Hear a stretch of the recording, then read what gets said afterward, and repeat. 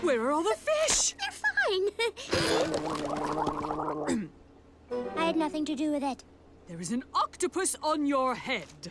You know octopuses can camouflage. It's too late now. Wow. You really would make a great guppy guide. Really? Too bad it will never happen. Wow, what's eating her? Because I know what's eating me. This piranha. Yeah, ouch! I'm sorry, Alice.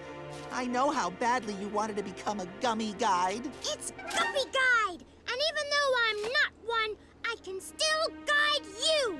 Go away, unicorn! Way ahead of you, because if I don't find a bathroom, there's going to be another leak. Excuse me, mythical creature with a tiny bladder coming through.